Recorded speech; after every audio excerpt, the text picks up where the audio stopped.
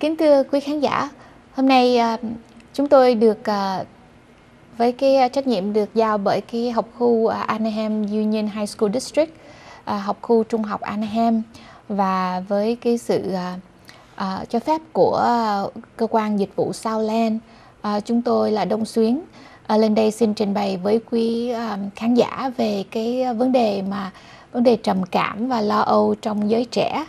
À, có lẽ là quý quý vị à, nếu mà có đọc tin tức thì gần đây có một cái à, bài viết nói về tại sao à, những người trẻ gốc Á Châu à, lại tự sát nhiều như vậy. À, vào năm 2015 thì à, trong cái tổng số của các em à, từ 20 cho đến 24 tuổi qua đời thì 1 phần 3 các em qua đời vì tự sát. Hôm nay chúng tôi uh, có dịp để xin chia sẻ với quý, quý uh, khán giả về cái khía cạnh sức khỏe về tâm lý, uh, tâm thần uh, của trẻ em thanh thiếu niên. Thì là chúng tôi sẽ bắt đầu từ uh, đầu tiên thì chúng tôi sẽ trình bày một số cái khía cạnh về uh, những cái dấu hiệu uh, để quý vị biết và khi biết dấu hiệu thì mình cần phải làm gì và uh, một số cái yếu tố uh, Ờ, để quý vị kiến thức về vấn đề ờ, rất là căn bản về vấn đề tâm não để quý vị hiểu được con mình hơn và một số cái kỹ năng mà ờ, cha mẹ có thể sử dụng để để tiếp cận với lại tương giao với con của mình. Thì chúng tôi xin mời quý khán giả bắt đầu theo dõi ngày hôm nay. Thì đầu tiên là khía cạnh lo âu trầm cảm trong giới trẻ. À, chúng tôi à, từ cơ quan sao len nếu mà quý vị có những cái câu hỏi hay là uh, trong tương lai cần những cái dịch vụ đặc biệt cho những quý vị mà có medical à, hoặc là lợi tức thấp thì chúng tôi phục vụ những quý vị như vậy. Còn nếu quý vị nào có bảo hiểm sức khỏe thì nên liên lạc với bảo hiểm sức khỏe của mình.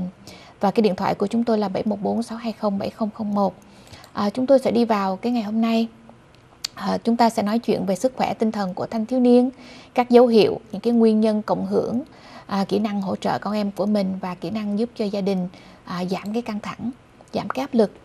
Thì như quý vị biết là ngày hôm nay thì khoảng à, trong cái National Institute of Mental Health là một cái trung tâm nghiên cứu quốc gia về vấn đề sức khỏe về à, tâm thần thì có 14% thanh thiếu niên từ 13 tới 18 tuổi có bệnh về cảm xúc và 25.1% thì có tâm bệnh về lo sợ. À, tuổi chung thì khoảng 20% các thanh thiếu niên từ à, 13 tới 18 tuổi là có à, có à, khía cạnh về tâm bệnh. Và quý vị thấy là từ 10 tới 15% là phải gánh chịu các triệu chứng trầm cảm à, một lúc nào đó trong cái cuộc đời tuổi đang lớn của các em và khoảng 25% thanh thiếu niên và uh, và 30% các em nữ có cái bệnh lo sợ là bệnh về anxiety, bệnh hồi hộp lo sợ. Thì chúng ta đang nói chuyện về bệnh à, depression và à, và anxiety, uh, chứng bệnh trầm uất, uh, trầm cảm và uh, bệnh về lo sợ.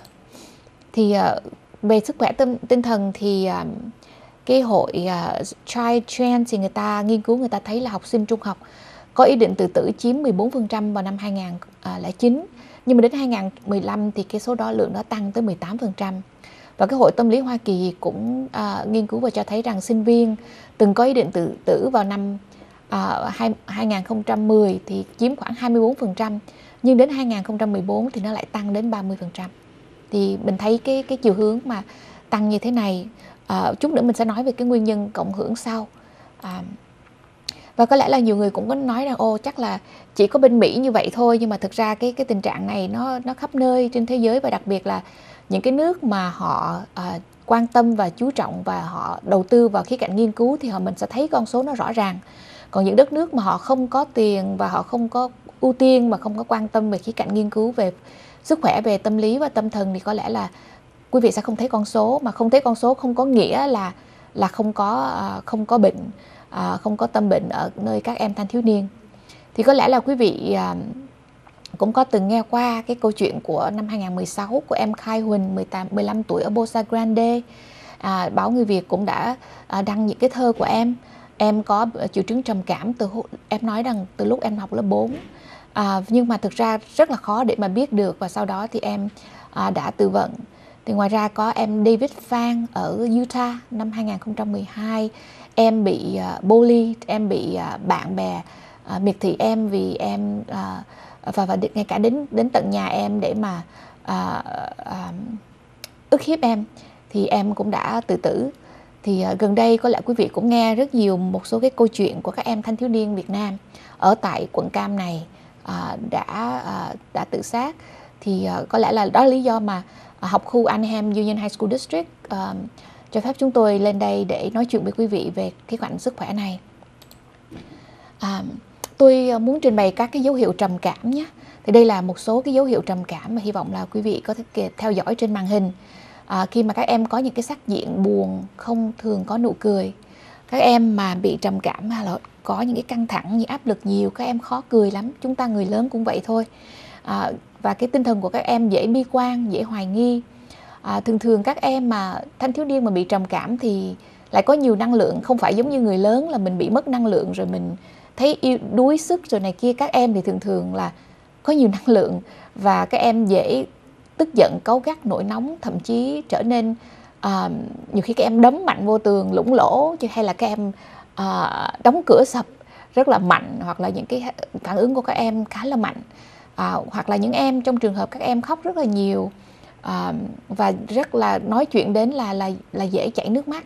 Thì đây điều đó chỉ chứng tỏ là các em có những cái vết thương lòng đó quý vị.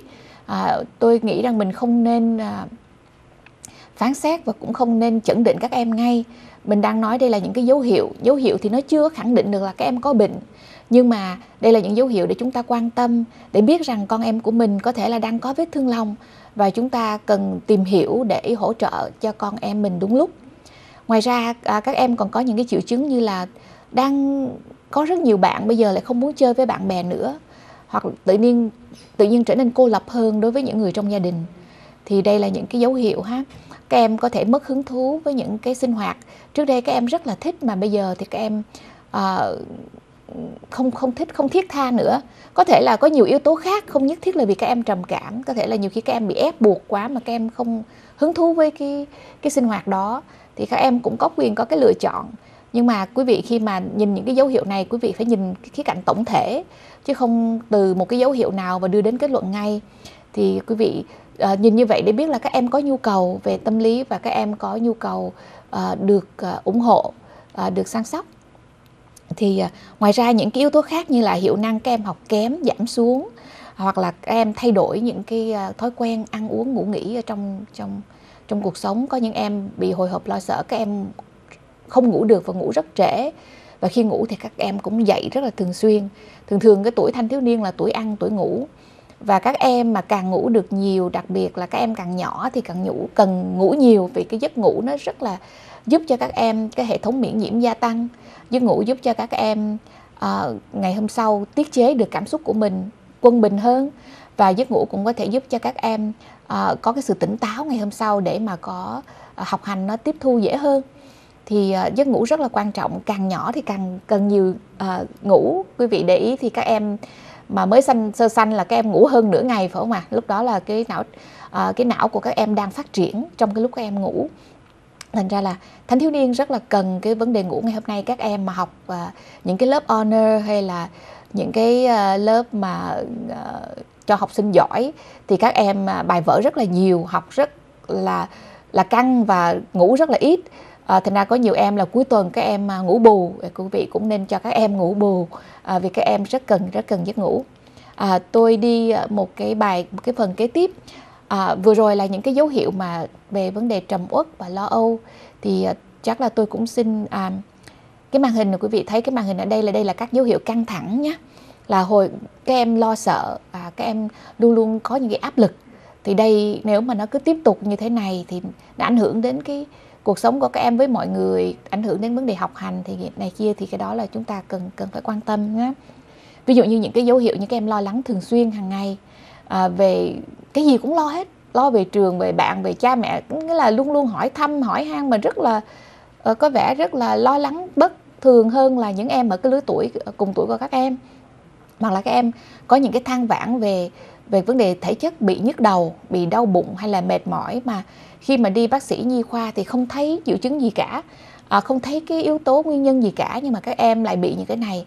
Thì đây là những cái dấu hiệu thường thường các em nó không có nói ra có cái ngôn ngữ để nói ra cái cảm xúc của mình nhưng mà nó được sẽ được thể hiện qua cái cái ờ, thể chất của các em. Chúng tôi sẽ trở lại sau phần thông tin thương mại và để ờ, chia sẻ thêm với quý uh, quý khán giả.